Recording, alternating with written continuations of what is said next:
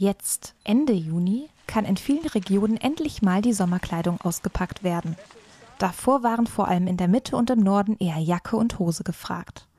Ein Blick zurück auf einige Höchsttemperaturen im Juni zeigt, wenn überhaupt, gerade mal Werte um 20 Grad an.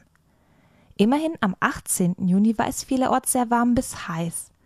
Der genauere Blick zeigt aber auch da eine Ausnahme, den Westen und Nordwesten. Im Temperaturrückblick für Köln beispielsweise findet sich im gesamten Juni kein einziger Sommertag mit Temperaturen über 25 Grad. Um diesen zu finden, muss man bis in den Mai zurückgehen. Somit wird dort die aktuelle Sommerwärme besonders gut tun, selbst wenn einige Gewitter das sommerliche Bild zwischenzeitlich etwas trüben.